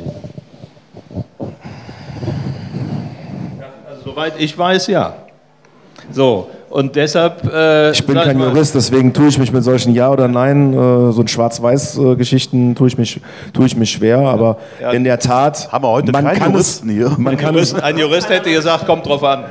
man kann natürlich, man kann natürlich mit solchen Geschichten vor Gericht gehen. Und äh, ich kenne so den einen oder anderen Vereinsfunktionär, der würde das dann machen, wenn der, wenn der Täter dann nicht gefasst werden würde. Insbesondere, wenn die Leute natürlich dann wieder da draußen rumjohlen, dass es einer von den Ultras war. Was in, an dem, in dem Fall äh, definitiv nicht der Fall war. Klar, natürlich. frage ich mal was anderes. Und zwar, ich meine, wir sind ja wieder in der ersten Liga, wunderbar. Ja. Das heißt, wir treffen auch wieder auf so Chemietruppen und äh, aber auch auf so, äh, so einen Verein wie Hoffenheim, äh, wo es ja immer eigentlich Stress gibt und der Herr Hopp, glaube ich, schon seine, äh, ja, seine Anwälte vorbereitet hat, weil er sich halt beleidigt fühlt. Er wird ja auch beleidigt, Punkt. Ja, wir haben So. unsere Anwälte auch vorbereitet. Äh, oh, ja, äh, ernsthaft jetzt, ja? Ja. Erzähl. Ja, wir mussten halt einfach mal vorab juristisch gucken, äh, wie man Kritik äußert, vielleicht auch teilweise primitive Kritik, wenn man so, so bezeichnen darf, ohne dafür belangt zu werden. Klappt ganz gut. Gibt schon, gibt schon, es gibt schon Fanszenen, die da ein gutes Beispiel äh, angelegt haben. Aber man könnte auch einfach mal sagen, lassen wir es doch einfach mal. Aber das, Könnte man auch, aber es ist ja langweilig. Also ihr wollt es weitermachen. Also auch gegen, ich weiß nicht, RB Leipzig Also ist ja auch ich muss ganz Thema. ehrlich sagen, also bei dem Pyrotechnik-Thema, da weiß ich, dass ich die Leute nicht mehr abgeholt bekomme. Da bin ich mir ziemlich sicher. Da könnte ich jetzt noch und nöcher sagen, ja, wir Böllerwerfer und so weiter waren wir nicht, Böller wollen wir nicht und wir, wir wollen, dass hier, dass hier äh, kontrolliert Pyrotechnik abgefeuert wird. Ähm, da werde ich niemals, da werde ich vielleicht den einen oder anderen noch ähm, erreicht kriegen und eine, und eine sachliche Auseinandersetzung zu dem Thema erreichen. Aber die 100 Prozent, die kann ich mir abschreiben. Das ist gar keine Frage. Da hat der DFB es mit seinen Strafnummer wunderbar geschafft, die äh, Kurven zu spalten. Übrigens das Thema Spaltung, auch gerade hier beim ersten FC Köln, ist ein ganz, ganz wichtiges Thema. Sonst würde ich ja nicht hier sitzen. Ähm, da müssen wir nämlich auch noch dran, bevor wir über irgendwelche Choreos sprechen. Aber okay, gut. Ähm, da haben wir das Thema aber auch damals schon das erste Mal angesprochen. Wenn wir beim Thema Pyrotechnik jetzt dran sind, in ein paar Jahren reden wir beim, über das Thema Beleidigung. Und dann kam der Hopp, hat eine, hat eine Anzeige äh, geschrieben und der DFB hat sich gefreut, ja wunderbar, da, da klinken wir uns mal mit ein. Und jetzt sind wir an dem Thema Beleidigung. Und ich kann euch nochmal ganz klar, wenn es hier so weitergeht, Richtung äh, klinisch reiner Fußball, das nächste Thema wird sein, da werden wir darüber diskutieren, äh, wenn man sich die sozialen Netzwerke, die sogenannten, mal anschaut, da sieht man schon die, so die ersten, ersten Takes in diese Richtung, da werden wir darüber diskutieren, ob wir, und wir schmeißen Stein auf Stein auf die Elf von Niederrhein singen dürfen, weil es ja ein gewaltverherrlichendes Lied ist. Das ist die nächste Stufe. Und dann können wir uns hier meines Erachtens abmelden. Wobei dann muss ich nicht mehr in die Fankurve gehen. es sind ja schon mal Steine geflogen Richtung Gladbacher. Und das ist genau das Fans. Argument der Leute, die dann halt dagegen halt Deswegen argumentieren. sage ich das jetzt einfach, weil das Argument kommt dann immer. Was sagst Klar. du denn dagegen? Äh, das waren, äh, wenn es war einer war, war es einer und nicht 14.000 Mann in der Südkurve, die das gerade singen. Also was für ein Schwachsinn, sorry. Also das sind für mich Schwachsinnsargumentationen. Nur wenn es jetzt einer macht, muss es doch nicht heißen, dass jetzt 14.000 Mann deswegen auf ewig die Schnauze halten sollen. Und ähm, sorry, also ähm, ich glaube, da gibt es wirklich auch beim Thema Beleidigung und auch einzelne Beleidigungen, da gibt es wirklich auch Beispiele in Fußball Deutschland, die können damit ein bisschen was souveräner umgehen und haben damit es geschafft, dass die Kurve sie gar nicht mehr beleidigt. Also ein Hopp hat ja nur damit geschafft, äh, äh, dass das Thema weitergeht. Das ist halt eben das Problem. Also ich merke schon, das ist wieder mal eine Diskussion wert, wo wir uns wieder ein bisschen mehr Zeit für nehmen Ja. müssen. Shell, das haben wir ja schon mal gemacht. Ich glaube, das werden wir auch noch mal Ich habe so das Gefühl, du willst die ganze Zeit was sagen, ne? ja, ich glaube, nicht sicher. doch, der, wirst du woanders sitzen, oder? Hau rein, wir, sind, wir kennen uns hier. Also, Also etwas, etwas provokant gefragt, was wäre denn, wenn man, wenn man sich wieder zusammensetzt, was wäre denn für euch der Ansatz, worüber ihr reden könntet? Also wenn du jetzt sagst, wir werden uns nicht ändern und, und das werden wir weitermachen, äh, was wäre denn der Ansatz, wo ihr sagt, darüber würden wir mit uns reden lassen? Ihr verlangt ja auch, auch mit Recht äh, ein Entgegenkommen von der anderen Seite. Mit wem? Da muss ich erst mal fragen, mit wem zusammensetzen? Mit den Vereinsfunks? Weil wer, wer gerade beim Hop, also mit dem muss ich mich jetzt nicht zusammensetzen. Da kann ich mir die Zeit sparen, genau. Ähm, also erstmal muss ein Grundverständnis dafür, dafür herrschen, äh, wie wir ticken. Und da sehen wir äh, gerade aktuell in der Fanbetreuung des ersten FC Köln, ich kann es auch konkret ansprechen, überhaupt kein Licht am Ende des Tunnels. Da muss ich erstmal komplett etwas anderes äh, bewegen, äh, bevor wir da mit irgendwelchen Gesprächen anfangen. Geschäftsführung, äh, ja, also, äh, also gerade zum Thema Fans würde ich mich jetzt da nicht großartig positionieren. Da kann ich auch aktuell auf, auf Gespräche verzichten. Wir haben einen Vorstand, den haben wir gewählt. Der ist auch bei diesem Thema meines Erachtens am nächsten dran, eben weil er, und das ist halt eben der Vorteil, mit dem Mitgliederrat eng zusammenarbeitet. Und im, Mitar im Mitgliederrat sehen wir halt auch eben die Kompetenzen beim Thema äh, Fan und Mitglieder. Mit dem Mitgliederrat ähm, sprechen wir auch wunderbar. Also jetzt zu sagen, es gibt gar keine Gespräche, ähm, ist natürlich insofern falsch. Es gibt keine Gespräche mit Mitarbeitern der GmbH, um es jetzt mal so auszudrücken. Und das schon seit zweieinhalb Jahren. Und das wird wahrscheinlich noch ein bisschen was länger dauern. Aber natürlich gibt es Gespräche mit dem Mitgliederrat. Und sofern nötig gibt es auch Gespräche mit dem neuen Vorstand. Das ist ja gar keine Frage. Also da haben wir auch keine Probleme mit. Und da gibt es auch genügend Themen auf beiden Seiten, die man äh, ohne weiteres besprechen kann. Gar keine Frage. Also ich denke, wenn wir in, in ein paar Jahren hier sitzen und über den Vorstand reden, ähm, dann wird das sicher einer von zwei Punkten sein, äh, nachdem man sie bewerten kann. Also einer von dreien neben der sportlichen und finanziellen Lage, dass sie da ähm, alle wieder irgendwie, nicht vielleicht an einen Tisch, aber doch irgendwie ein bisschen wieder zusammengebracht haben. Ja, ich muss ja dazu sagen, was der alte Vorstand ähm, ja anders oder schlecht in unseren Augen gemacht hat. Äh, er hatte eben das, dieses Thema Verein Vereinen auf die Fahne geschrieben und das ging gerade zum äh, nicht nur zu unseren Ungunsten, sondern zu Ungunsten der ganzen FC-Gemeinschaft komplett nach hinten los. Das muss man auch dazu sagen. Also die haben den Verein jetzt gerade zum, zum äh, Ende ihrer Tage extrem gespalten. Und klar, da gehören auch immer äh, auch andere Seiten, auch wir gehören dazu, das ist gar keine Frage, da nehmen wir uns jetzt nicht mit raus. So, und deswegen müssen wir uns, glaube ich, jetzt auch so an dieser Kante wieder treffen. Also wir müssen wieder mehr zueinander kommen. So, ne? Also äh, klar, das, das Verständnis muss da sein, dass wir uns jetzt nicht großartig ändern können. Äh, wir haben aber auch das Verständnis oder müssen auch Verständnis dafür entwickeln, äh, dass es eben auch andere FC-Fans und auch andere Mitglieder gibt, die ein bisschen was anders ticken und ähm, müssen das natürlich genauso akzeptieren. Wir wollen halt akzeptiert werden. Ich will ja kein, kein äh, äh Danke oder cool, dass ihr Kurios macht oder dass ihr nach München mit vier Bussen fahrt und dafür drei Nüsse im Gepäck wieder mit drin, drin habt. Also, äh, beziehungsweise vier, Entschuldigung, ja vier Gegentore. Ähm, aber ähm, einfach so eine, so eine Akzeptanz, so eine Grundakzeptanz, die dann herrscht. Ne? Also soziale Netzwerken, die kann ich einklammern, äh, was da geschrieben wird, ist eh nur ein äh, Schwachsinn-Scheiß. Da frage ich mich sowieso. Ja, okay. Okay, das sehe ich ja nicht, was du, was du so schreibst. Es gibt auch immer, gibt auch immer Lichtblicke. So, aber ähm, ich würde mir halt einfach wünschen, dass es halt wieder mehr Gespräche auch unter den FC-Fans gibt. Unter den FC-Fanclubs, gerade eben wurde ich eingeladen, vielen Dank dafür. Das ist schon mal ein cooler Anfang. Ähm, beim Wilder Süden war ich, war ich eingeladen. Du bist ja auch heute hier. Ne? Also wir führen, wir führen, die Gespräche ja. und äh, wie gesagt, wir setzen genau. das auch weiter fort. Am Sonntag haben wir einen Südkurven-Stammtisch vor dem Paderborn-Heimspiel. Da wünsche ich mir auch, dass viele FC-Fans kommen. Also äh, meistens kriegt man viele Themen und viele Missverständnisse vor allen Dingen aus, aus, dem, aus, dem, aus dem Weg geräumt, wenn man miteinander spricht.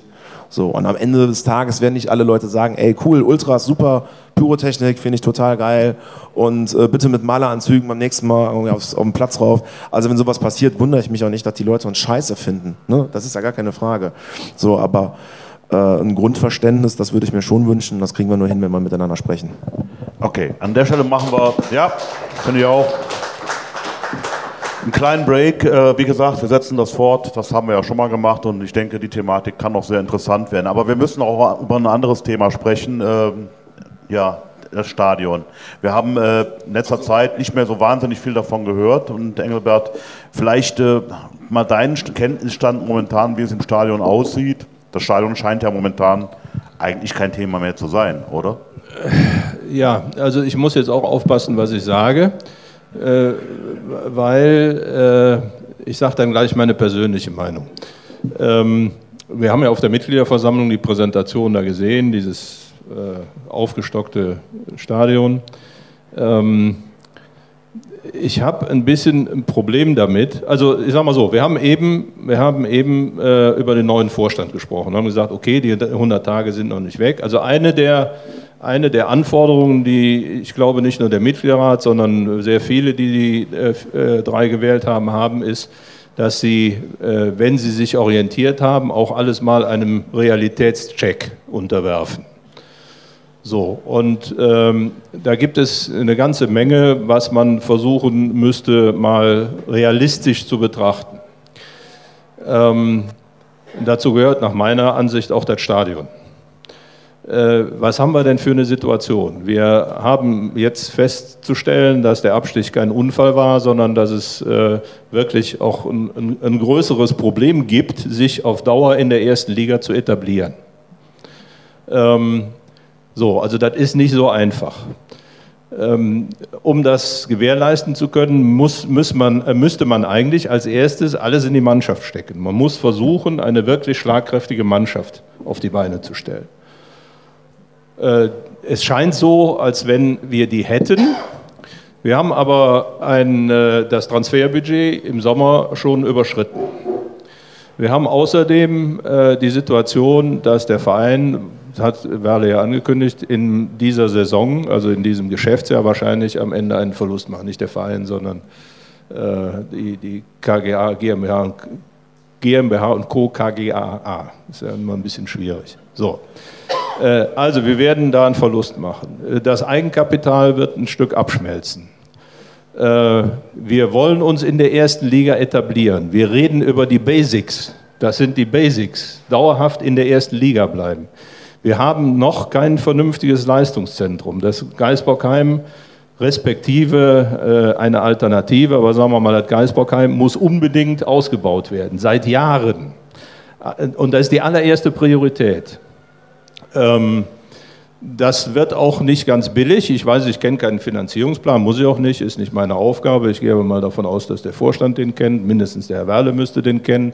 Das ist mit Sicherheit auch ein nicht gerade kleiner, zweistelliger Millionenbetrag, den der Verein ja stemmen muss. So. Also wir reden über die Basics. Wir reden darum, äh, wie wir unsere Voraussetzungen, was die Entwicklung der Mannschaft angeht, auch durch Infrastruktur weiter verbessern können. Und wir reden darüber, dass das Geld sehr knapp ist. Vor dem Hintergrund ist, und das sage ich jetzt nur ich persönlich, nicht Mitgliederrat, sonst wirft man ja wieder einer vereinsschädigendes Verhalten vor. Ich persönlich halte zu dem Zeitpunkt die Diskussion um ein 75.000 Mann Stadion, die ja frühestens 2024 scharf geschaltet werden würde, wo es um einen Bedarf in 2028 geht, ein bisschen für eine Phantomdiskussion. Ich meine, wir sollten uns auf das konzentrieren, was jetzt wirklich erstmal ansteht. Und das ist die Voraussetzungen schaffen, nicht nächstes Jahr wieder gegen äh, Aue und äh, Sandhausen spielen zu müssen. So, die infrastrukturellen Voraussetzungen dafür zu schaffen. Und dann kann man mal drüber nachdenken, was ist denn mit einem Stadion, wenn klar ist, wir haben uns tatsächlich in der ersten Liga etabliert. Ähm, ich sage mal so, vielleicht baut ja auch die Stadt sowas. Ne? Die geben gerade 840 Millionen für die Renovierung von, von Opern- und Schauspielhaus aus. Äh, wenn man das jetzt mal hochrechnet auf die Zielgruppe und die möglichen Zuschauerzahlen und daneben stellt, wie denn die Werbewirkung für die Stadt und äh, die Auswirkungen für die Wirtschaft in Köln ist, dann sind 300 Millionen für ein neues Fußballstadion geradezu geschenkt. Aber ähm, ich, ich sage mal nur so. Aber wir als Verein jetzt zu dem Zeitpunkt mit der zeitlichen Perspektive eine Diskussion zu führen über ein neues Stadion mit 75.000 bei der finanziellen Lage, das ist schon, äh, das ist schon äh, sag mal, bemerkenswert. Ähm, reden wir mal über den Bedarf. Äh, wenn man jetzt mal ehrlich ist, äh, es ist ausgesprochen schwierig, an Tickets zu kommen gegen Gladbach, gegen Dortmund, gegen äh, Leverkusen, Schalke, München. So. Dann jetzt im Moment noch Düsseldorf. Sind sechs von 17 Heimspielen. Also gegen Paderborn sind noch gut Tickets zu kriegen, gegen Hertha sind noch, äh, gegen äh, Hoffenheim sind Tickets zu kriegen und, und, und. Äh, so sieht der Bedarf im Moment aus. Wir haben die, das, die Dauerkartenproblematik. Ne? Weit über 10.000 Anwärter auf der Warteliste für die Dauerkarten. Die kommen aber ja nicht, wie der Hesse sagt, obendrauf, sondern die besorgen sich ja jetzt auch Tagestickets dann. Und wir reden über einen Bedarf jetzt. Das heißt, es ist noch völlig unklar, was tut sich denn bis 2028. Ist, die Stichworte sind ja bekannt. Virtual Reality, hier diese Brille, äh, dann diese komische Super League, wo dann Dortmund und München und was weiß ich, vielleicht noch ein deutscher Verein drin spielt, was ja auch Auswirkungen haben könnte. Also es gibt ja auch keine Bedarfsermittlung für 2028. Nochmal, vor dem Hintergrund wäre meine Priorität, ganz persönliche Meinung, ganz persönlich, in die Mannschaft investieren, in den Ausbau des Geisbockheims bzw. Trainingszentrum investieren und dann mal gucken, ob wir etabliert sind. Und dann kann man über ein Stadion nachdenken. Ja. Gibt es da noch was hinzuzufügen? Also erstmal volle Zustimmung in, ich glaube, allen Punkten, muss ich sagen. Ähm, sowohl beim Stadion als auch beim äh, Geisbockheim, als auch bei der Mannschaft. Ähm, zum Thema Mannschaft noch, ähm, das fand ich gut. Äh, das Budget wurde überzogen, das stimmt. Ähm, das nimmt auch die Möglichkeit, im Winter was zu machen, glaube ich. Wobei es natürlich im letzten Jahr, auch im Zweitligajahr, einen Gewinn gab und der natürlich noch mit Modest zusammenhing, aber trotzdem. Und ähm, es ist trotzdem, glaube ich, richtig gewesen zu sagen, wir machen das im Sommer, bevor wir jetzt 5 Millionen auf die hohe Kante legen und im Winter dann irgendwelche Notkäufe machen. Was ich aber entscheidend fand, und das spielt da rein, ist, dass Armin Fee gesagt hat, ähm, wir haben auch Spieler geholt, um Werte aufzubauen. Es wird auch wenn das hier nicht viele gern hören, es wird ja immer wieder hier und da Borussia Mönchengladbach als Vorbild genommen. Die haben eben in den letzten fünf oder zehn Jahren fast jedes Jahr einen Spieler teuer verkauft. Und das ist eben eine Sache, die hier mit Ausnahme von Modest äh, überhaupt nicht passiert ist. Und sie haben in diesem Sommer sechs zumindest ordentliche bis gute Spieler bekommen für 20 Millionen. Dafür kriegst du heute normalerweise einen guten. Und die sind alle relativ jung. Und äh, wenn du dann anfängst, mal jedes Jahr einen für 20, 25 Millionen zu verkaufen, ähm, dann kannst du vielleicht auch mal 10 fürs Geisbockheim zur Seite legen oder ähm, kriegst dann eben auch mal was. Und das ist das, was die letzten Jahre völlig gefehlt hat. Bei aller Romantik ist ja schön, dass sie alle mit in die zweite Liga gehen. Ähm, und Modest hat es ja damals dann auch irgendwie rausgerissen, aber trotzdem, es ist irgendwie so, ähm, Werte schaffen in der Mannschaft. Nicht nur gucken, dass man drin bleibt, sondern wirklich sagen, da haben wir auch Potenzial, mal irgendwie Geld zu generieren. Das hat in den letzten Jahren völlig gefehlt. Wo du gerade Potenzial sagst und Potenzial ist natürlich auch die eigene Jugend und das war richtig schön in Schalke, fand ich übrigens ein gutes äh, Signal auch vom Trainer, den Noah Katterbach zu bringen und hat gesehen, ein großes Risiko konntest du mit dem Jungen nicht eingehen.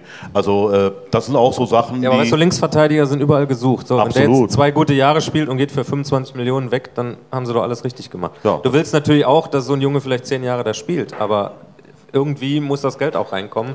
Und da musst du eine, eine Risikoabwägung machen und sagen, so, der bringt das meiste rein. Wir bauen aber Und jetzt keinen Druck Bayern. auf, ne, nach dem Motto 25 Millionen sofort für Noah Katterbach. Äh, da, nach einem Spiel ist er, glaube ich, ein bisschen verfrüht, aber ich weiß ja, dass es als Beispiel gemeint war. Und, äh, aber trotzdem, das ist ja der Weg, den der FC eigentlich gehen muss. Und ich hoffe, dass das vielleicht ein bisschen öfter vorkommt. Würdest du ihn jetzt gerne wiedersehen, äh, ge- gerade gegen, äh, gegen Paderborn? Äh, mir ist gerade noch was eingefallen zum Thema Stadion. Ja, Das hau ist mir rein. ganz, ganz wichtig, bevor ich jetzt irgendjemanden wiedersehen möchte. Ähm, was gerade eben, also auch hundertprozentige Zustimmung äh, auf jeden Fall. Was gerade eben noch mit, äh, oder was ich noch gerne, gerne mit reinnehmen kann, ich war jetzt auf zwei Veranstaltungen, da war wirklich zweimal dasselbe Thema, und zwar Gästefans im Heimbereich. Äh, was auch mittlerweile wirklich sich äh, unter vielen FC-Fans äh, ist wirklich Thematik geworden und was viele FC-Fans stört. Und ähm, da muss ich auch ganz ehrlich sagen, also solange es noch äh, so viele Mitglieder gibt, die selbst gegen Gladbach, Gladbach, ich kann das gar nicht aussprechen. Also mein Vater wird mir den Kopf vom Rumpf abtrennen, ja, wenn ich sowas machen würde. Ähm, also die wirklich dann äh, Gladbach-Fans Karten besorgen ähm, und nicht wenige. Also dann muss ich ganz ehrlich sagen, also äh, ich hoffe, dass von solchen Leuten nicht das Thema Stadionausbau angesprochen wird. Also das überhaupt, das hat mich auch geärgert gegen Dortmund. Ja. Äh, war es ja ganz extrem. Da konntest du auch durch diese gelbe Warnfarbe genau. richtig gut erkennen, die überall verteilt waren. Überall waren Bienen. Also das war schlicht zu viel. Und ich kann einfach nur sagen, da müsste sich manche auch mal ein bisschen was schämen. Also was manche FC-Fans da, angebliche Fans da machen, ist einfach nicht in Ordnung. Sorry. Also das, einfach zu das, viel. das Thema ist adressiert. Jetzt, was den Ticketskauf angeht oder Verkauf angeht, weiß ich nicht. Ich habe ja relativ wenig Einfluss. Aber was äh, die, die Supporter angeht, also die, die äh, Zecken, ne, ähm, äh, das ist adressiert, dass man diesem Thema sich widmet. Äh, Es gibt ja bestimmte Blogs, da sollten die eigentlich nicht auftauchen. Ja, wobei ich dazu sagen muss, in Berlin, äh, gegen Berlin, Entschuldigung, äh, sind ja nur noch Plätze, Plätze frei geblieben. Also man hat da schon gesehen, wie viele Dauerkarteninhaber an dem Tag offenbar keinen Bock hatten auf dem ersten FC Köln. ich habe mal gehört, bis zu nachvollziehen. 5000 ist das pro Spiel. Ist das Auch- richtig? Also diese Dauerkartenproblematik ist in der Tat schwierig. Äh, Der Jupp sitzt hier, ich weiß nicht, bist du in der Ticketkommission? Nee, ne? Ja, äh, also es gibt in der Tat eine ganze Reihe von Dauerkarteninhabern, die die alles andere als konsequent nutzen, um es mal vorsichtig auszudrücken. Und äh, wie man mit denen umgeht, ist auch ein Thema äh, in, der, in der Ticketkommission. Also auch da wird sich was ändern. Aber da gibt es doch bei Vereinen schon Modelle, so ab unter 12 wird sie entzogen oder sowas. Genau, so, so in die Richtung äh, denkt man nach. Ja, ich denke, wir könnten jetzt natürlich noch stundenlang weiter diskutieren, werden wir sicher auch machen, aber das machen wir dann in einem neuen Talk mit einer neuen Runde. Und äh, ich hoffe, dass wir ja, ein paar Anstöße haben geben können, müssen aber natürlich noch mal einen kurzen Tipp abrufen für Paderborn. Da kommt er jetzt nicht drum rum. Und der Shell hat ja von einem hohen Sieg geträumt, sag ich mal, oder in, in sich gewünscht. Wie hoch fällt er denn aus? Eigentlich tippe ich ja sehr ungern, also, aber okay. Machen wir mal äh, ein lustiges 4-2. 4-2, okay. Holger? Ich glaube, diesmal gewinnt der FC 5-3. 5-3? Okay. Wie in der zweiten Liga, aber umgekehrt. ne? Nee, ich nehme die Mitte, 4-3. Also es fallen auf jeden Fall viele Tore. Ich sag 6 zu 2. Ja, für den FC natürlich. Ne? Also, ja, wir werden abwarten müssen und äh, hoffen, dass der Druck jetzt nicht zu groß ist auf die Mannschaft, aber ich denke, das kriegen sie geregelt. Am 18.11. werden wir uns hier wieder treffen beim FC-Stammtisch. Mal gucken, wer dann äh, ja, hier sein wird und wir werden dann die Besetzung auch etwas früher bekannt geben. Das war leider aus, äh, aus diversen Gründen. Ich könnte jetzt eine Stunde am Stück drüber reden, aber ich lasse es äh, ein bisschen schwierig. Beim nächsten Mal wird es auf jeden Fall ein bisschen anders laufen. Und ich hoffe, dass wir uns dann alle wiedersehen hier beim FC-Stammtisch. Und ich bedanke mich bei unserer heutigen Runde bei Stefan Schell. Danke, dass du kurzfristig eingesprungen bist. Ein extra Applaus für dich. Und natürlich bei Holger Schmidt und Engelbert Fassbender. Riesenapplaus, danke für euch allen. Und hier Mario, bis zum nächsten Mal und tschüss zusammen. Ciao, danke, tschüss.